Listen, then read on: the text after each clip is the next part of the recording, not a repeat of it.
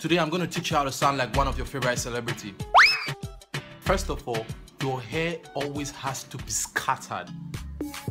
Your beard has to be as sharp as an arrow. If you by any chance put on any shirt that has button, you must always expose your chest. It's absolutely forbidden for your trouser to pass your ankle. You must always jump like a native fowl that is jumping from one tree to another. Are you okay? What I say? To sound like Patoranking, you must put a little bit slight force in anything you say. Did you hear that? Ranking.